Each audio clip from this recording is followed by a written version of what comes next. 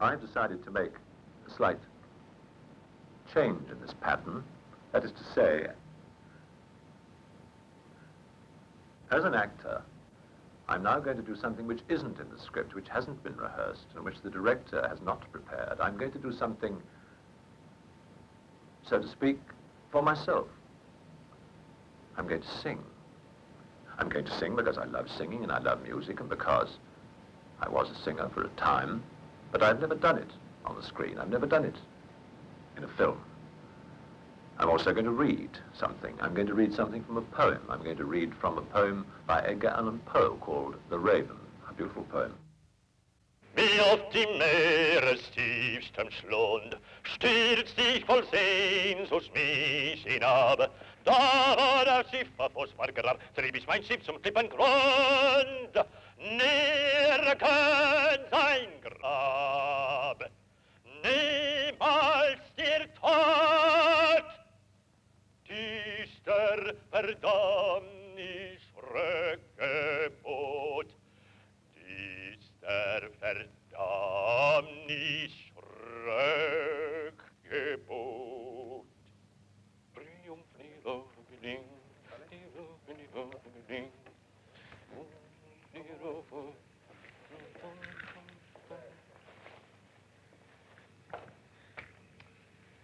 Maintenant, chantons à cette belle une chanson morale pour la perdre plus sûrement.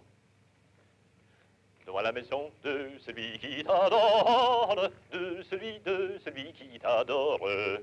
Petite Louison, que fais-tu dès l'aurore? Que fais-tu, que fais-tu, que fais-tu? Au signal du plaisir dans la chambre, Dieu damn Pardon, non, non, non, je dois recommencer. Pardon. Oui, oui. Je, recommence, parce que j'ai quelque chose avec. Maintenant, chantons à cette belle une chanson morale pour la perdre plus sûrement. Devant la maison de celui qui t'adore, de celui de celui qui t'adore. Petite Louison, que fais-tu dès l'aurore? Que fais-tu, que fais-tu, que fais-tu? Au signal du plaisir dans la chambre du trieux, tu peux bien entrer fille, tu peux bien entrer fille, mais non fille sortir, mais non fille en sortir. Et te tends les bras près de lui, tu cours vite, tu cours près de lui, près de lui, tu cours vite. Bonne nuit, hélas, ma petite bonne nuit, bonne nuit, bonne nuit, bonne nuit, bonne nuit. Près du moment fatal, fais grande résistance. S'il ne t'offre d'avance, s'il ne t'offre d'avance, s'il ne t'offre un anneau conjugal, un anneau conjugal, il te tend les bras près de lui, tu cours vite, tu cours près de lui, près de lui, tu cours vite. Bonne nuit, hélas, ma petite bonne nuit, bonne nuit, bonne nuit, bonne nuit, bonne nuit.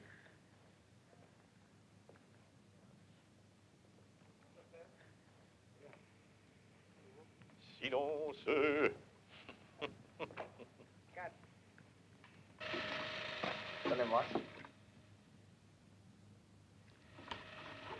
The Raven by Edgar Allan Poe is, I suppose, completely unique in the English language.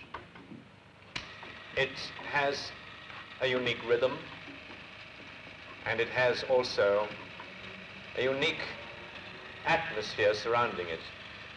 I suppose, in a way, the central figure who tells the story is a little bit like Edgar Allan Poe himself. He was a sad, bitter, lonely, unhappy man. And in this poem, of course, we have just such a person.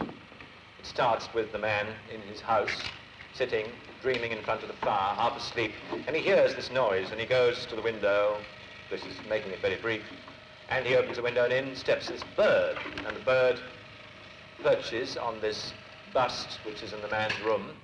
And the man, at first, quite, um, quite uh, calmly, almost in an amused sense, starts to talk to the bird. Well, it soon becomes quite obvious that the raven can only say one word.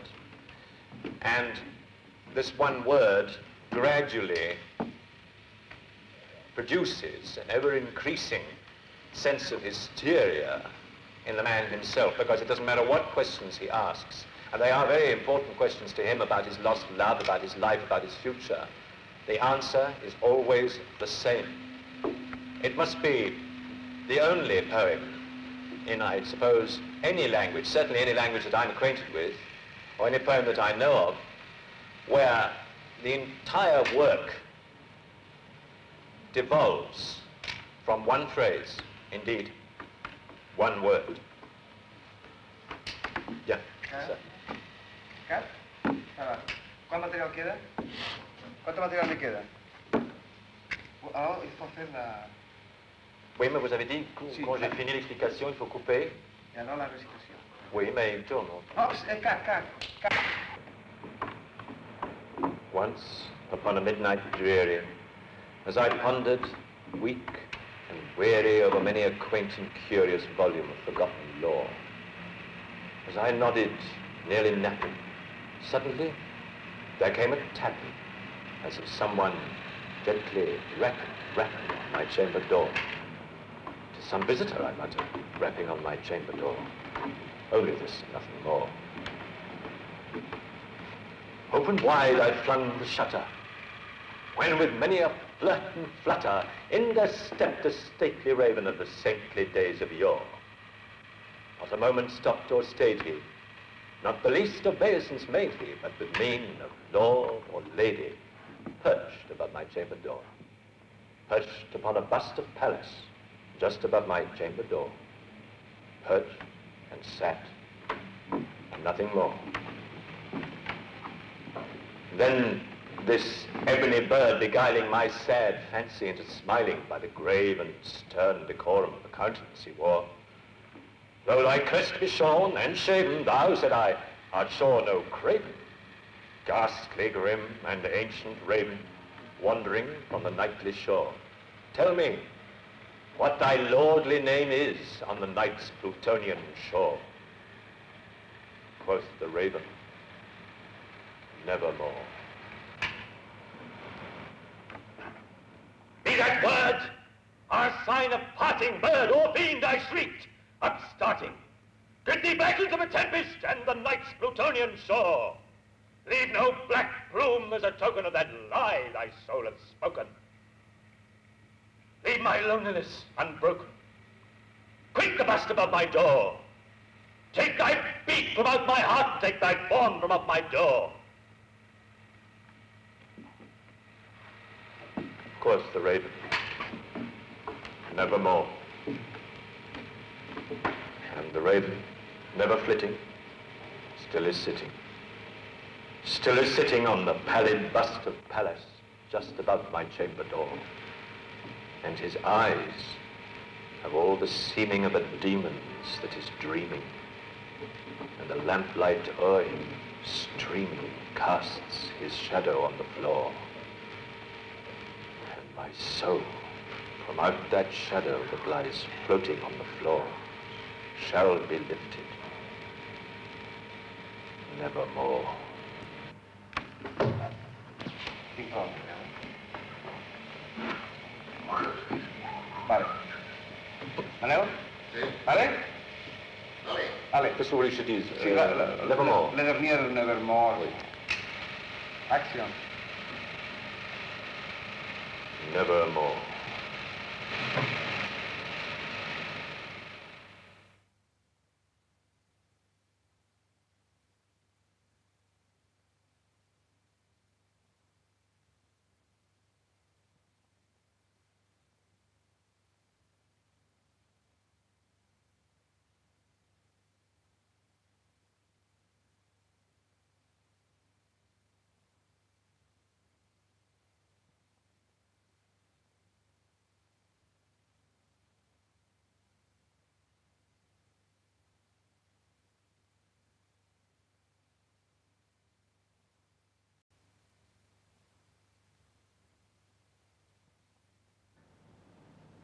I've decided to make a slight change in this pattern. That is to say, as an actor, I'm now going to do something which isn't in the script, which hasn't been rehearsed, and which the director has not prepared. I'm going to do something, so to speak, for myself. I'm going to sing. I'm going to sing because I love singing and I love music and because I was a singer for a time, but I've never done it on the screen. I've never done it in a film. I'm also going to read something. I'm going to read something from a poem. I'm going to read from a poem by Edgar Allan Poe called The Raven, a beautiful poem. Wie auf Schlund stürzt voll Sehnsucht mich hinab. Da war der Margrab, trieb ich mein Schiff zum Klippengrund. Näher kann sein Grab, niemals der Tod. Düster Verdammnis rückgebot, düster Verdammnis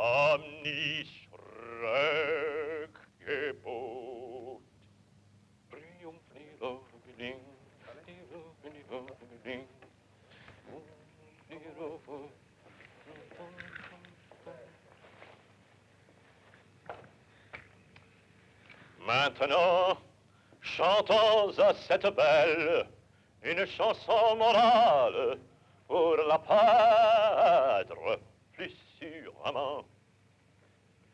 Dans la maison de celui qui t'adore, de celui de celui qui t'adore.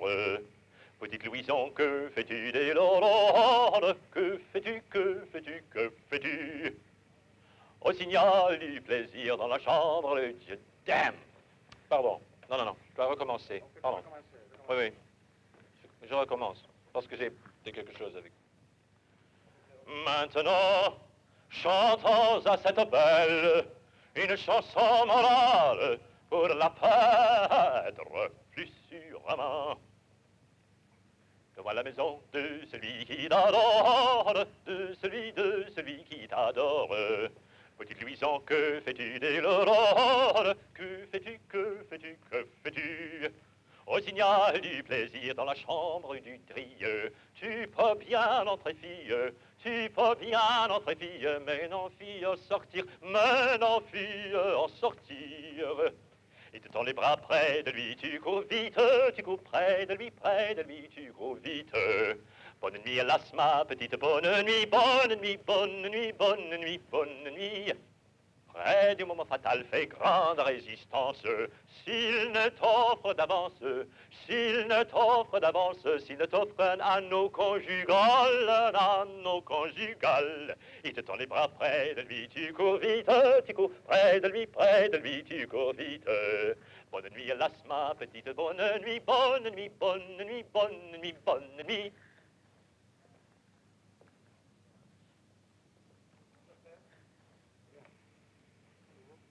Silence.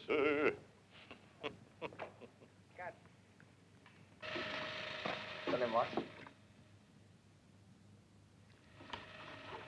The Raven by Edgar Allan Poe is, I suppose, completely unique in the English language. It has a unique rhythm, and it has also a unique atmosphere surrounding it. I suppose, in a way, the central figure who tells the story is a little bit like Edgar Allan Poe himself. He was a sad, bitter, lonely, unhappy man. And in this poem, of course, we have just such a person. It starts with the man in his house, sitting, dreaming in front of the fire, half asleep, and he hears this noise, and he goes to the window. This is making it very brief. And he opens the window, and in steps this bird, and the bird perches on this bust which is in the man's room. And the man, at first, quite, um, quite uh, calmly, almost in an amused sense, starts to talk to the bird. Well, it soon becomes quite obvious that the raven can only say one word. And this one word gradually produces an ever-increasing sense of hysteria in the man himself, because it doesn't matter what questions he asks, and they are very important questions to him about his lost love, about his life, about his future, the answer is always the same. It must be the only poem in, I suppose, any language, certainly any language that I'm acquainted with, or any poem that I know of, where the entire work devolves from one phrase, indeed, one word. Yeah, Cat. sir. Va. ¿Cuál material queda? ¿Cuánto material me queda? Alors, il faut faire la...